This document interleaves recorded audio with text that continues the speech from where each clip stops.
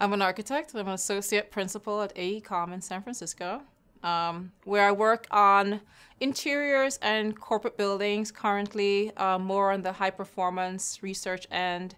My clients tend to be more those who want to try something different, um, more on the research and development and engineering side of things, where we're looking towards what next? How can we do something different?